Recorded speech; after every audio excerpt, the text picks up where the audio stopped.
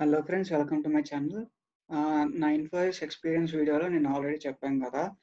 What do know about Infosys అనే క్వశ్చన్కి సపరేట్గా వీడియో చేస్తాను చిన్న వీడియో అని చెప్పి. సో ఈ వీడియోలో నేను ఇన్ఫోయిస్ గురించి ఒక చిన్న సమరీ ఒకటి రాసుకున్నాను నేను. సో దాన్ని ఇప్పుడు మీకు షేర్ చేస్తాను. జనరల్గా ఇన్ఫోయిస్ అనే కాదు ఏ పెద్ద కంపెనీ అయినా కానీ అడిగే కామన్ క్వశ్చన్ అది what do know about our company అని.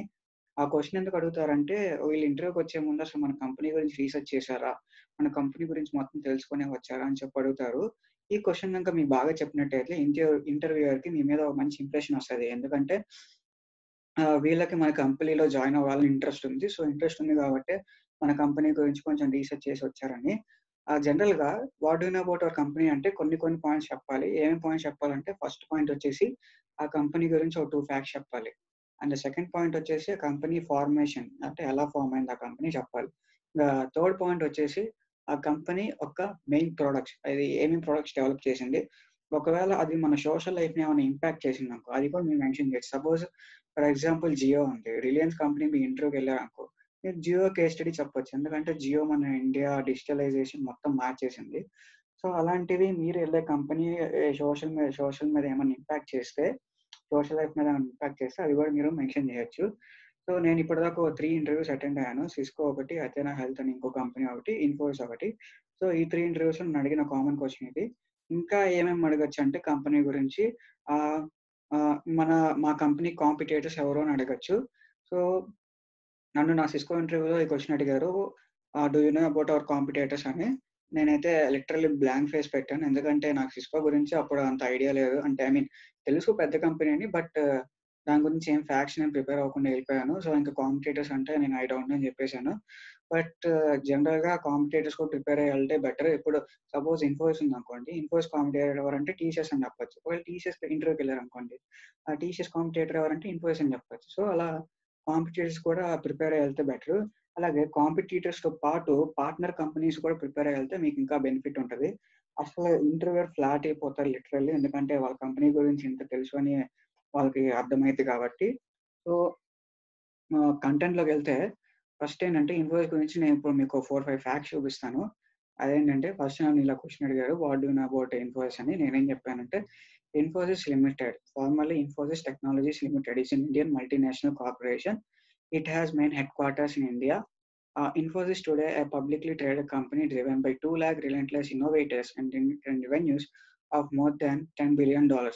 Infosys is a globally traded in technology and consulting services. It enables clients in more than 50 countries to create and execute strategies for their digital transformation. Infosys is the second largest company in India in terms of its revenue and the largest employer H1B visa professionals in the United States.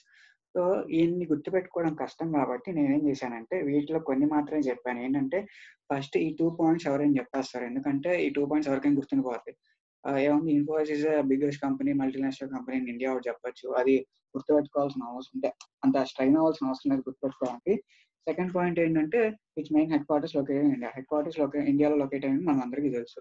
తర్వాత ఏంటంటే ఇంకా last point చెప్పాను. ఈ మధ్యలో two points అప్పుడు నేను interview అప్పుడు మర్చిపోయాను యాక్చువల్లీ సో లాస్ట్ పాయింట్ ఒకటి గుర్తుని అది చెప్పాను. ఏంటంటే Infosys largest company in India which provides more number of H B employee visa అని చెప్పాను. ఈ త్రీ పాయింట్స్ నేను మెన్షన్ చేశాను.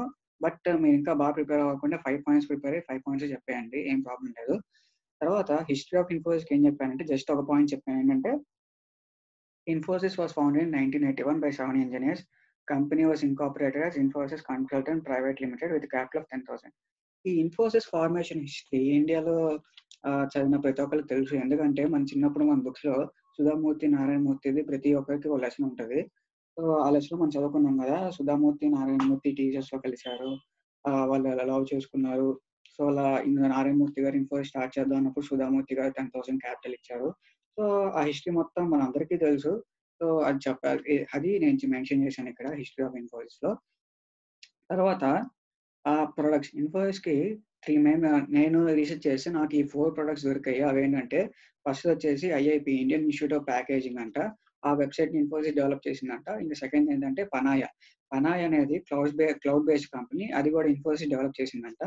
ఇంకోటి ఇంకోటి ఏంటంటే ఇన్ఫోసిస్ ఫినాకిల్ అని ఇన్ఫోసిస్ ఫినాకిల్ అనేది ఒక బ్యాంకింగ్ ప్లా ప్లాట్ఫామ్. ఇప్పుడు ఇన్ఫోసిస్ ఫినాకిల్ అనే దాన్ని ఎడ్వర్డ్స్ అనే కంపెనీ కొనేసింది. సో ఇది now it's not belongs to Infosys but అది కూడా మెన్షన్ చేశాను ఏ కంపెనీ కొనేసిందని. తర్వాత ఇన్ఫోసిస్ వాళ్ళు ఇప్పుడు ఆర్టిఫిషియల్ ఇంటెలిజెన్స్ మీద పడిపోయారు. సో అది కూడా మీరు కావాలంటే చెప్పుకోవచ్చు. Like Infosys is now working on AI based technology అని అది చెప్పుకోవచ్చు. ఇది ఇన్ఫోసిస్ డెవలప్ చేసిన ప్రొడక్ట్స్. ఇంకా మీరు ఇంకా వాళ్ళు అడిగే ఛాన్స్ ఏంటంటే అంటే మా ఫ్రెండ్స్ కొంతమంది ఏం అడిగారంటే do know about the CEO of Infosys అలా అడిగారు.